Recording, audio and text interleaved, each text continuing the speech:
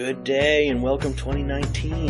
I'm glad to be back after a very busy fall and year's end, and we have an exciting year planned with new free cycle events, spring Planet Seed events, and also a return to our sustainable film series. We want to kick off our new year with a podcast that is sure to delight. Today we are visiting Radcliffe's new dean, Tomiko Brown Nagin. Enjoy and thank you so much for joining us. It's happening. We're here. Okay, very Welcome, good. everybody. Here we are for our next podcast installation. We're uh, here with Andrew and Tom and myself, Eric, and we're here for our, I don't remember what number podcast, but we're probably six or seven anyway. And we have to say, uh, it's been going good, but we've got a very special guest here today. Our new dean, Miko. Welcome. Thank Hi, you for thank coming. you. Thanks for Thank uh, you. having me. It's a, it's a pleasure. So we wanted to, um, you know, talk about sustainability Right, a little bit, and I've got some questions that we've got, and uh, maybe we just start off. sure. All right. So one of our first questions we wanted to kind of talk about is, uh, with your background in history, uh, can you talk a little bit about how learning from our past can actually uh, we can help us obtain a more sustainable future? hmm So that's a great question. Um, I, I would uh, tweak the question a little bit to refer to my experience as a lawyer as well um, and as a legal historian. Um, and I say that because, you know, um, one of the courses that I've taught many times is about um, uh, the relationship between uh, the world around us, whether it's uh, in terms of the environment or uh, in terms of the workplace or schools, and issues of equity and access. Um, that's important because I really see sustainability as a social and economic uh, justice issue.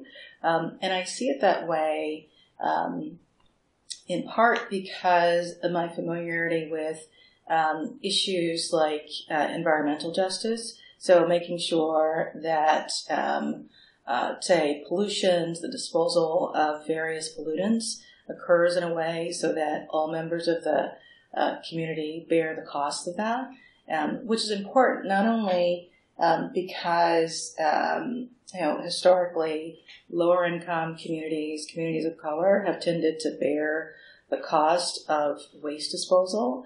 Um, if all of us bear those costs, then it actually incentivizes um, reducing waste uh, and just being smarter about how we uh, dispose of waste. So um, that's an important perspective on um, sustain- sustainability for me.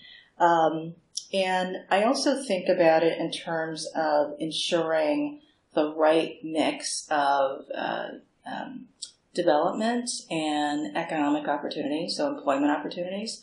Um, and I think that to the extent that um, Americans or people all over the world um, have some question or question um, sustainability as a goal, I think it's around the what they see as the perceived trade-off between um, sustainable development and uh, the creation of jobs uh, or the loss of jobs.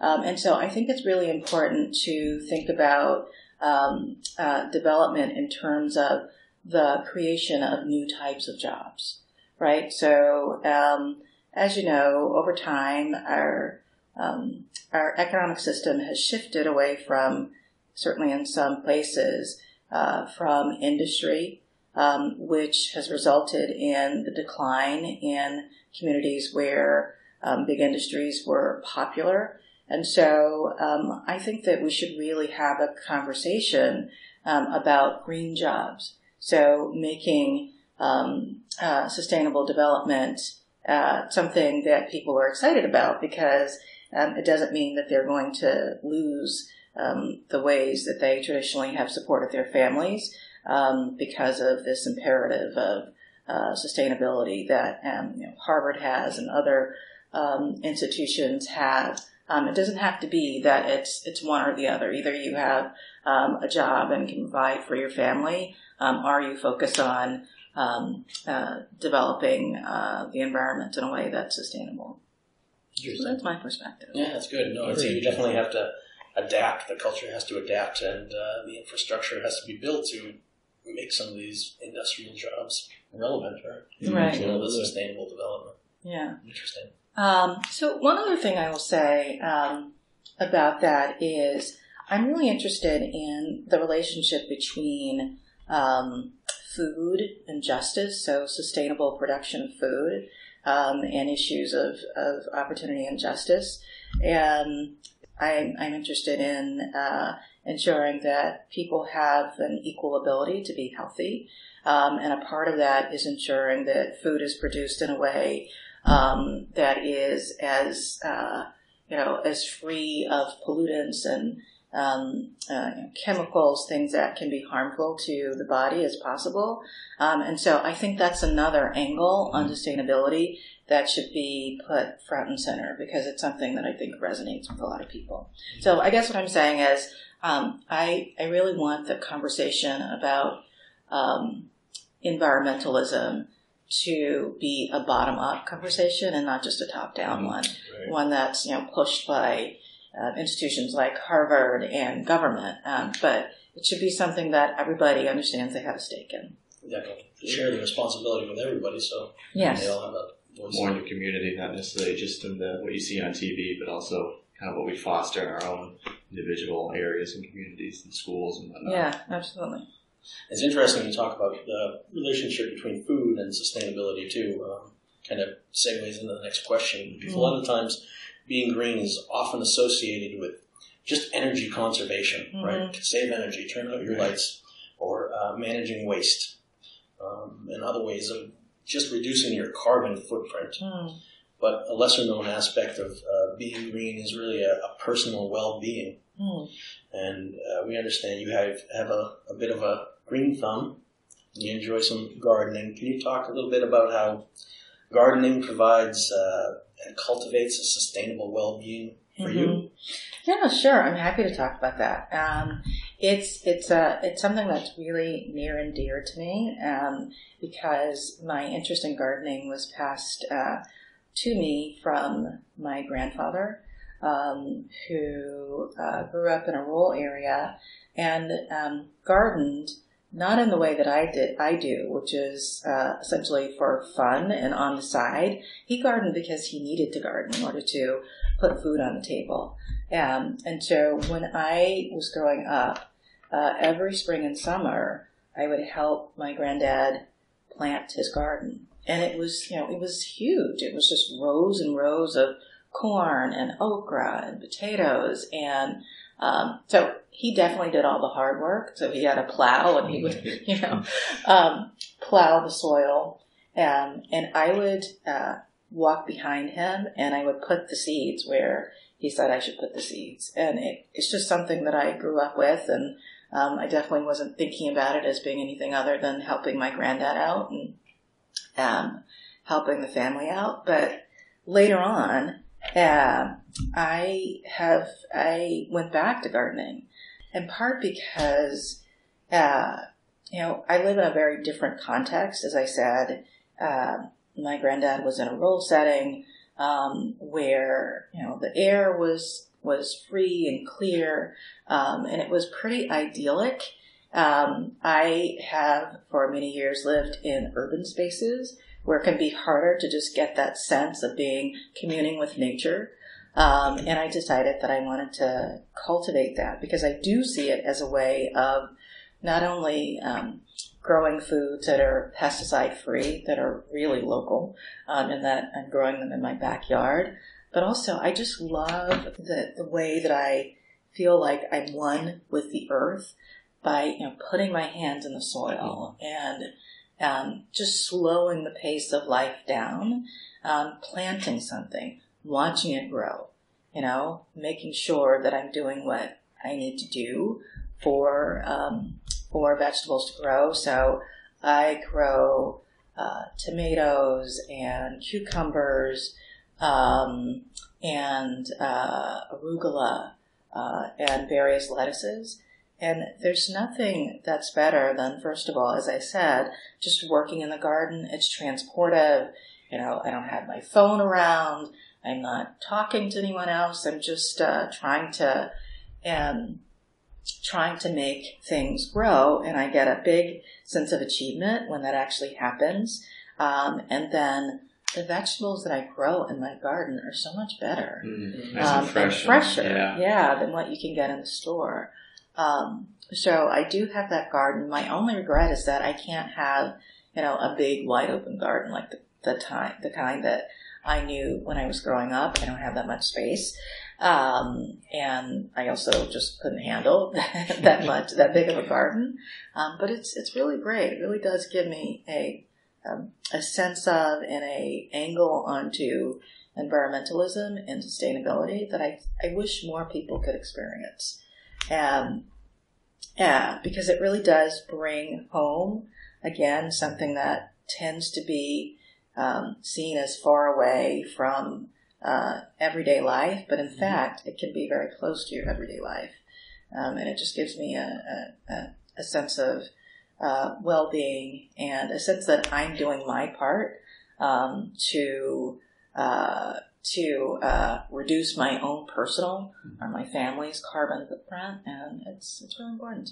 Sounds like it's almost a little nostalgic too, like Oh, kind is. of harkening back to Yes. you know, when you were planting with your grandfather. I'm sure Yeah. that's kind of a neat experience. Right, yeah.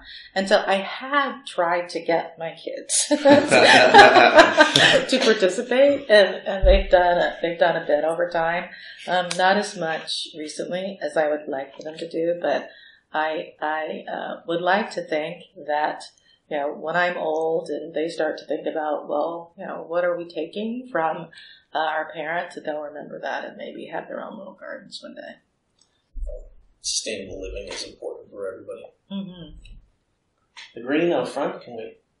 Get some, uh, get the plow up there. Maybe. I'm sure. well, I think Yeah, Maybe so- in Greenleaf. Yeah. I mean, uh, no, yeah, at, at Greenleaf. So we're actually working on that. well, Um, great. maybe getting a little plot uh, at Greenleaf, at least for uh, growing some herbs. Should be Excellent. Yeah. Absolutely. That's great. Well, there's one more question for you. Mm. You know, um, here we are at uh, Radcliffe, which is part of Harvard, and you know we see a lot of uh, new information, as we talked about a little earlier, how Harvard is really pushing to become more and more sustainable for Mm. the future. And curious, in the future, how do you see Radcliffe and the university, but specifically Radcliffe within the Mhm. university, evolving to meet um, the new goal of becoming fossil fuel neutral by Mhm. 2026? I think the other directive is a little far out, but at least the Yeah. 2026. Well, so um, first of all, I want to say I think it's an ambitious goal and it's a good goal. Um, and I'm glad that uh, President Faust, I think the report was issued while she was still uh, president, um, had the foresight and the commitment to um, environmentalism to create a, um, a task force that came up with that recommendation and made that commitment. Um, it's uh, it's ambitious, but um, it also means that since it's out there, uh, we all have to work towards that goal and do our part. So the first way I think that Radcliffe can um, be useful is uh, by playing its role as the university's convener, um, where scholars and uh, policymakers come together to try to think about what concrete steps can be taken to actually meet um, those goals. And so um, that's one thing that we can do. Um, but I also hope that um, when we're thinking about, uh, you know, renovating, renewing our buildings, uh, know, we're working on the, the Schlesinger um, Greenleaf eventually will undergo uh, renovations, that we can think about uh, ensuring that our buildings are as green as they can possibly be. Um, I also think uh, that there might be ways that we can um, move towards using solar energy. Um, and I'm not uh, quite sure. I'm sure that you, uh, Tom, would know more about, um, you know, how how workable that is and what we may already be doing towards that end. Um, but you know, I do think that although we are pretty small within the Harvard ecosystem, um, that we can uh, both raise our voices um, to contribute to solutions, but also um, with all of the buildings that we have, um, that we can try to make them as um, as uh, energy efficient as possible, um, that we can move towards uh, solar, um, and I'm sure there are other ways that we can be helpful. And uh, I imagine that eventually that imperative will trickle down from from the You're right. I university. you're right. so so we don't only have to come up with uh, our ideas about that, but we, we will have some ideas presented to us. I'm sure. Yeah, I think solar is a great one. We have we do have a small solar array up at Concord Ave, our, our Mhm. little satellite campus up the street. But we've looked, Tom and I, kind of the whole facilities department, have looked. Greenleaf being one of them, looked at ways we could, you know, incorporate solar panels on the roof and Right. on other buildings and whatnot. It's kind of one of the more obtainable ways to. You know, we have our geothermal wells, which are obviously really green, but solar's a great way because it's kind of a you know one of the quicker, more obtainable ways of getting that you know clean energy you Right. know, with the infrastructure that we already have in place, just slightly modifying it. So, Yeah. Which there are costs associated with that, um, obviously, but um, I, for one, would love to. Uh, I the way that I can bear living in Boston. I'm not a cold weather climate person, um, and my nature is the way that during the winter. Um, it can be really cold out, but the sun is beaming. Um, and I think if there's a way to increase Yeah. um, those rays coming into Greenleaf and into our buildings, I would definitely be supportive of that. Mhm. Yeah. Yeah, I think there's going to be some larger scale thinking. I went to a think tank about how to, you know, get to that ambitious goal that you speak of as well. Um, I think the university as a whole needs to think about how we could buy more um, solar energy, wind energy. How do we get that? How do we get that to Harvard? hmm This that'd be a larger scale of that ambitious goal. Yeah.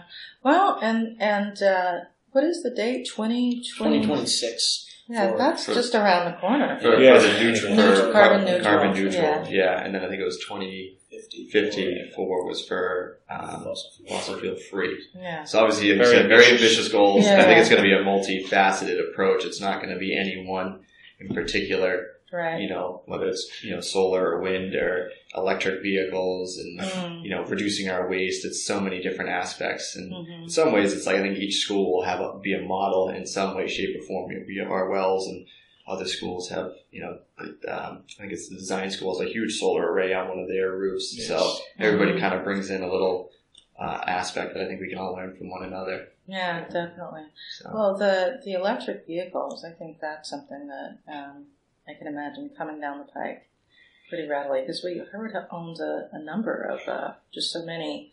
yeah, absolutely. Yeah. And like bio, you know, there's biodiesel, which is you know kind of a step in the right direction. You know, Yeah. there's definitely you can see the the kind of the, the wheels turning, trying to get to that. But I think there's still a lot of uh, be a lot of good conversations to come to figure out how we you know how we obtain those ambitious Mhm. goals. It'll be Mhm. interesting to see for sure. I think there'll be a lot more think tanks to come. Yeah, So. absolutely. Conferences, Yes. hopefully in good places. Yes. Yeah. Warm places. Yeah. yeah, exactly. Well, thank So. you for talking Thank to you. me. Thank you very thank much. for Yeah. talking to us. Taking time to, to talk. It's been great. Yeah, well, thank you. I appreciate it. I've, I've enjoyed anytime I can reminisce about, uh, you know, days of yore growing up. I, I've gotten to that mm-hmm. age where I'm happy to look back. Absolutely. And think about that. Thank you. Great. Thank you very much. Take care.